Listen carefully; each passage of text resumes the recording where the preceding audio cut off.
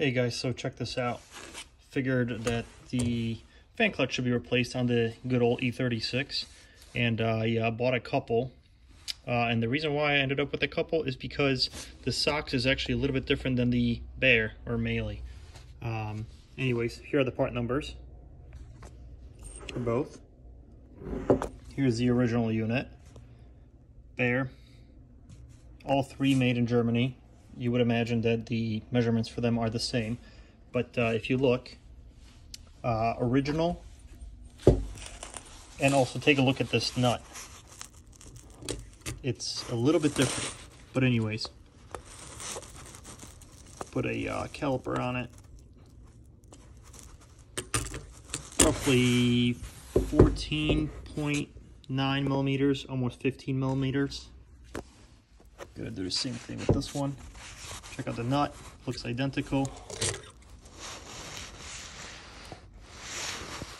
All right, good old Pittsburgh caliper, 14.9, about the same measurement. Those are the Mahle and the original uh, Behr. And then we've got the Sachs. As you notice, look at this. Different nut design.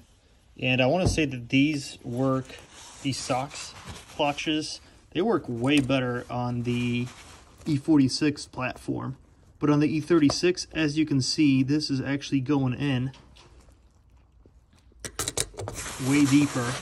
So what that means is this clutch, it's this hole is not as deep on it.